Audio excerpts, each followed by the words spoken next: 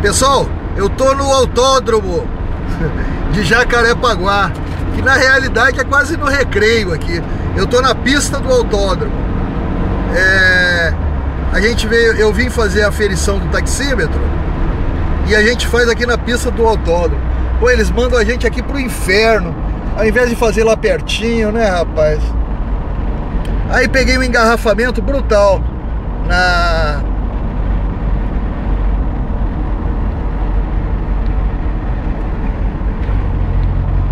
peguei o engarrafamento na linha amarela.